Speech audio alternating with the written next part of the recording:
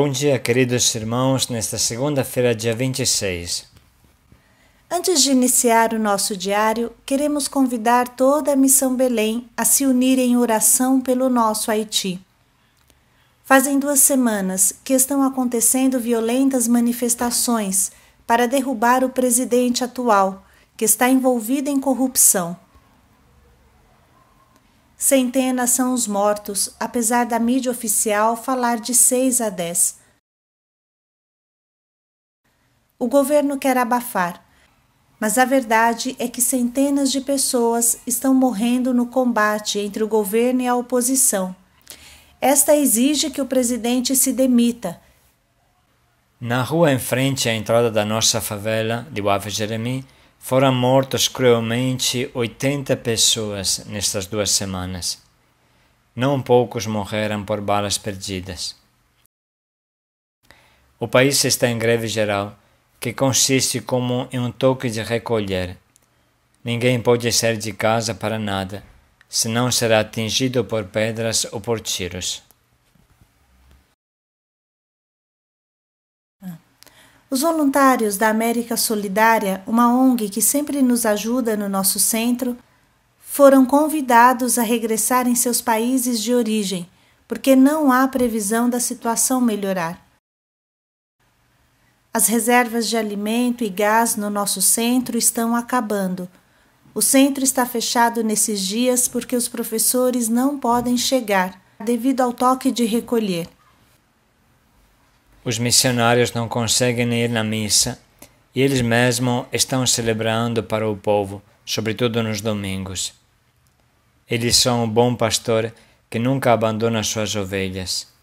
Estão visitando as casas e fazendo sentir a presença de Deus que nunca nos abandona. Pedimos, irmãos, orações mais intensas para os nossos missionários nesses dias, para que Deus abra um caminho. Vamos meditar junto o Salmo 23, 24. Quem subirá até o monte do Senhor? Quem tem mãos puras e inocente coração. O que significa ter mãos puras e coração puro, inocente? O próprio Salmo explica nos versículos seguintes: Termos mãos e coração puros significa sermos capazes de comunhão com Deus, de permanecer na sua casa, deixando para trás toda a vaidade, que não é só a síndrome do pavão, mas o correr atrás de coisas vazias e fúteis, que nos fazem esquecer o amor. Ter mãos puras significa deixar de lado toda a maldade e privilegiar, acima de tudo, o amor o amor a Deus e aos irmãos. Salmo 23, 24 Do Senhor é a terra e o que ela contém, o universo e os que nele habitam. Pois foi Ele que a estabeleceu sobre os mares e a firmou sobre os rios. Quem vai subir ao monte do Senhor? Quem vai ficar no seu santuário? Quem tem mãos inocentes e coração puro, quem não corre atrás de vaidades, quem não jura para enganar o seu próximo. Este alcançará do Senhor a bênção e a justiça de Deus, seu Salvador. Esta é a gente que o procura, que procura a face do Deus de Jacó.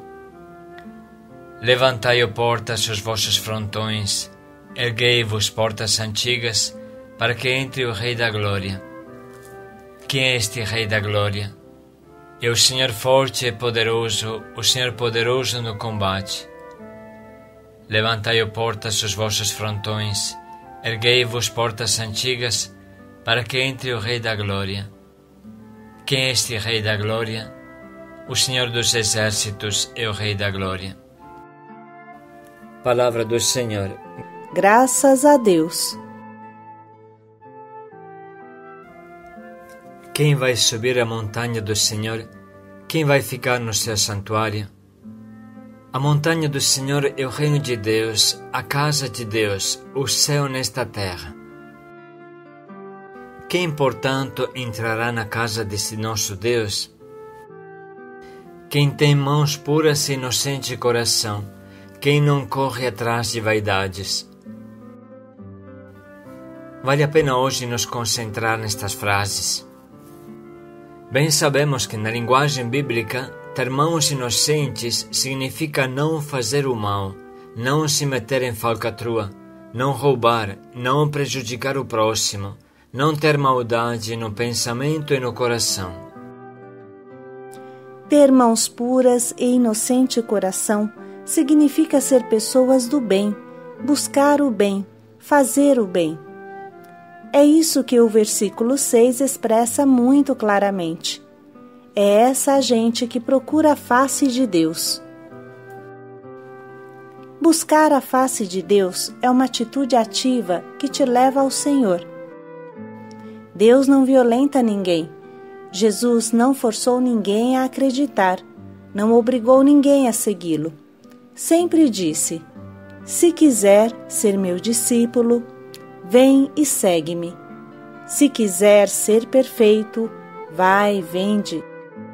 Jesus não obriga, aponta o caminho da felicidade, da intimidade com Ele e depois a escolha fica nos ombros da pessoa em plena liberdade. Tudo fica totalmente na nossa responsabilidade. Deus precisa do teu sim. Ele não arromba a porta de ninguém. Estou à porta e bato. Se alguém me abrir, eu entrarei e tomarei a ceia com ele. Isso é incrível. O imenso poder de Deus quer depender do nosso pobre sim mas esta é a realidade. Só encontra Deus quem procura a Deus. Quem corre atrás de vaidades, como fala o versículo 4, quem corre atrás do nada, das futilidades da vida, esta pessoa nunca encontrará a Deus, porque só encontra a Deus quem procura a Deus. Levantai-vos, antigas portas, levantai vossos frontões ou seja, procurem se abrir mais, ficar mais altas e mais largas, porque deve entrar o nosso Deus. Isso significa que precisa fazer espaço a Deus na nossa vida.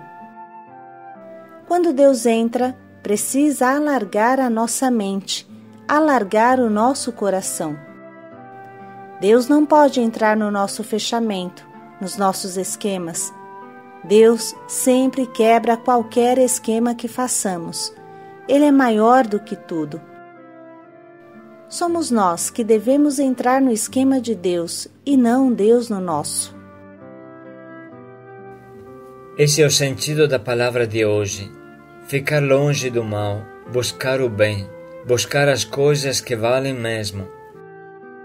Deixar de lado as vaidades, que são as futilidades o que Jesus chama de prazeres da vida. São as atividades da vida: comprar, vender, casar, trabalhar. Dar o justo lugar a estas coisas e buscar o que vale mesmo, que é o reino de Deus.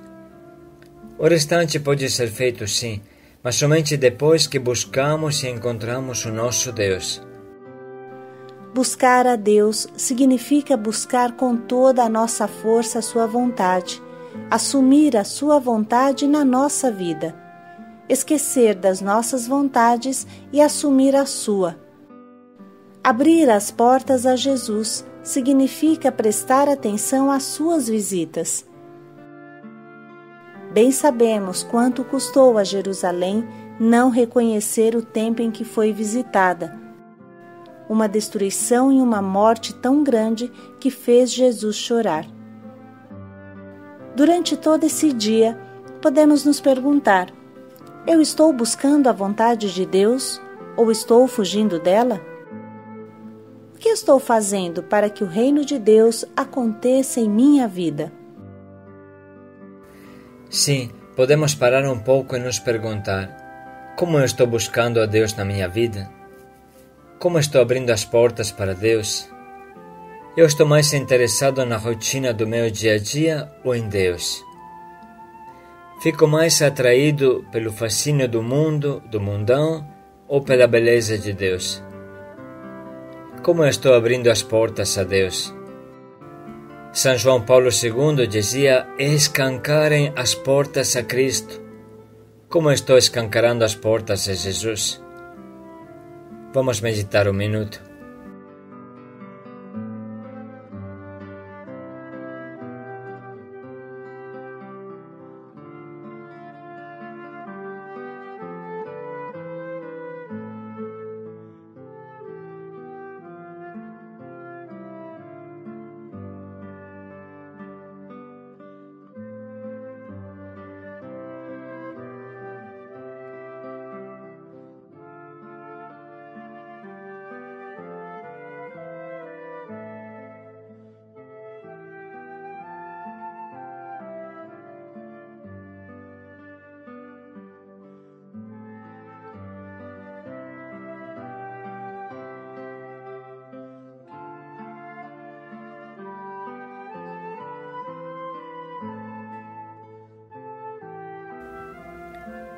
Esta reflexão nos ajudará a compreender melhor o salmo que hoje meditamos e que vamos ouvir de novo agora.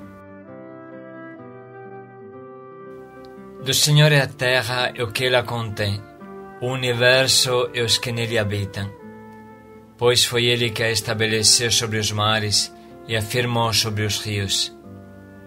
Quem vai subir ao monte do Senhor? Quem vai ficar no seu santuário? Quem tem mãos inocentes e coração puro, quem não corre atrás de vaidades, quem não jura para enganar o seu próximo. Este alcançará do Senhor a bênção e a justiça de Deus, seu Salvador. Esta é a gente que o procura, que procura a face do Deus de Jacó. Levantai, o portas, os vossos frontões, erguei-vos, portas antigas, para que entre o Rei da Glória. Quem é este Rei da Glória? É o Senhor forte e poderoso, o Senhor poderoso no combate. Levantai, o portas, os vossos frontões, erguei-vos, portas antigas, para que entre o Rei da Glória. Quem é este Rei da Glória? O Senhor dos Exércitos é o Rei da Glória. Vamos parar alguns minutos para sublinhar e anotar as frases que mais tocam no nosso coração e nos impulsionam à conversão.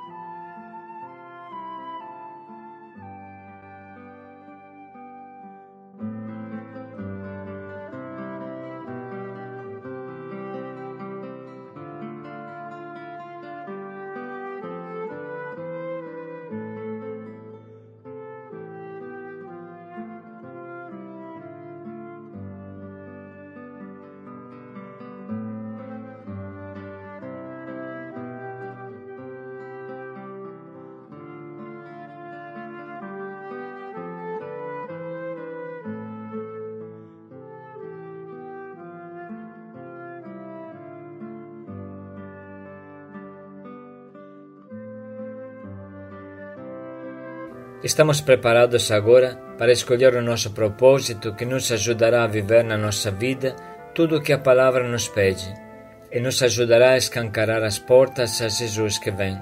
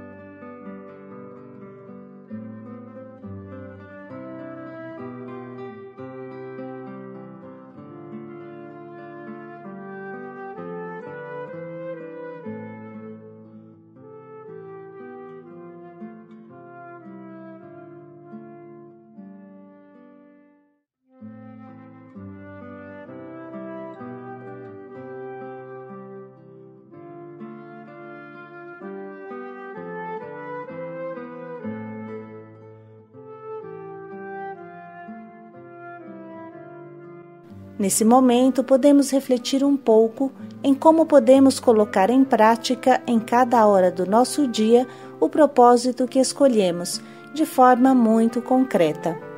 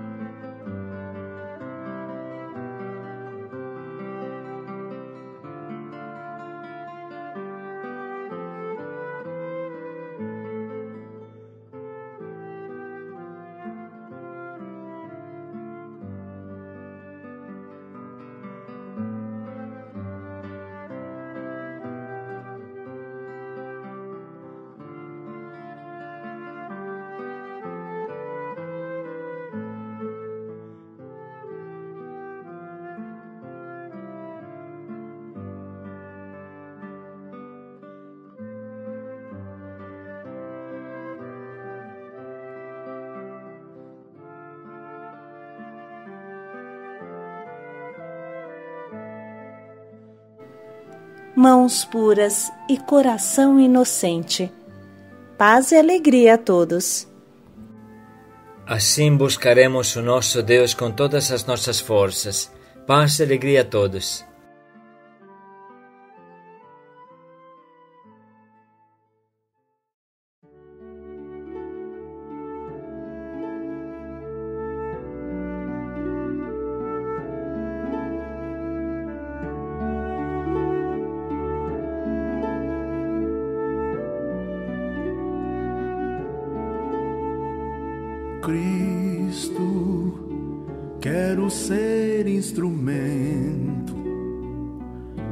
Tua paz e do teu infinito amor. Onde houver ódio ou rancor, que eu leve a concórdia que eu leve o amor.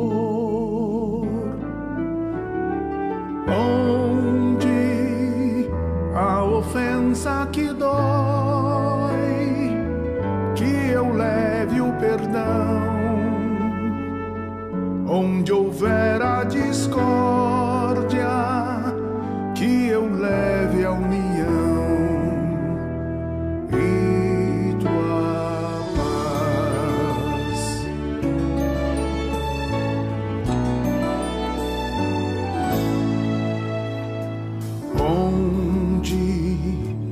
encontrar um irmão a chorar de tristeza, sem ter voz e nem vez. Quero bem no seu coração semear alegria pra florir gratidão.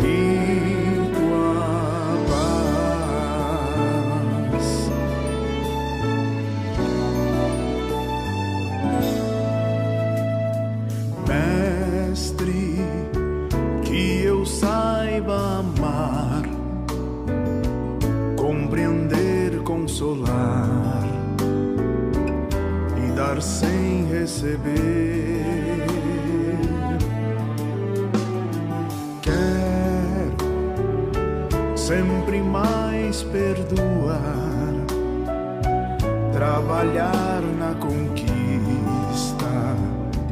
e vitória da paz.